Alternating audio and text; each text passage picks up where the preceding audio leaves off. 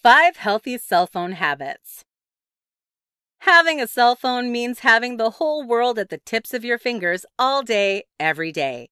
This power and potential can quickly overwhelm you and end up fraying your real life relationships. With great power comes great responsibility, and today we're going to be talking about five healthy cell phone habits you can incorporate into your daily routine. Skip social media in social situations. One of the easiest things you can do to create healthy cell phone habits is to eliminate checking and using your phone when you're with friends and family. Focus on engaging with them in real life rather than spending time checking your phone. Shut off your phone or put it on airplane mode so you won't be getting notifications or feeling vibrations during this time. Skip the scroll at bedtime. Blue light from technology keeps you awake at night and can make it hard to fall asleep. The stress and anxiety that constant scrolling on social media can also keep you from getting a restful night's sleep. Put your phone across the room at bedtime to keep yourself from scrolling until the wee hours of the night. You'll still be able to hear your alarm from there, but you won't be tempted to keep looking until you've exhausted your news feed.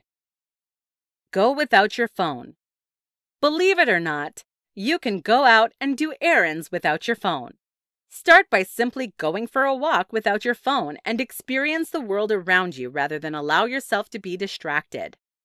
Write your grocery list on an honest to goodness piece of paper and take it with you to the store. You'll find you simply don't need the distraction as much as you thought once you've got the hang of going without. Create a new habit. Every time you reach for your phone, choose something else to do with your hands. This can be as simple as just tapping your fingers on the table or get as complicated as reaching for a new hobby instead.